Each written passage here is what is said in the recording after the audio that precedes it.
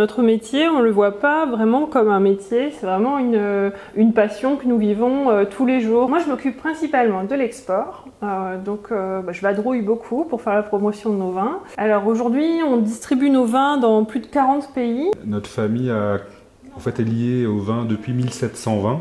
Donc on est aujourd'hui la 12e génération. Quand j'ai rejoint Jacques, j'ai déménagé de New York à Wöcklinshofen. C'est la grande mégalopole de Wöcklinshofen avec 400 habitants. Un peu plus, 550. D'accord. Le vin, il reflète aussi notre personnalité. Et euh, pour mon mari, euh, je le décrirais comme euh, il est généreux, il est ouvert sur le monde qui l'entoure. Déjà d'aimer ce qu'elle fait, mais en plus de le faire avec le sourire. Et ça, ça change tout.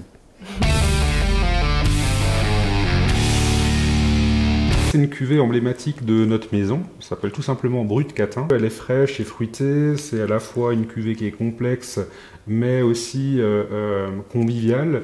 Et euh, du coup, on, on, on peut l'apprécier aussi bien sur un apéritif que lors d'un repas gastronomique. Alors, on a apporté euh, le trophée qu'on a gagné euh, il y a quelques mois.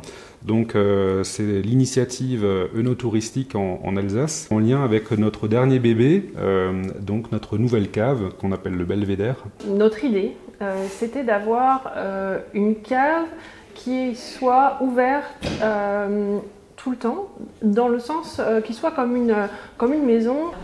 Ok. Is it ready? Oui. Ready?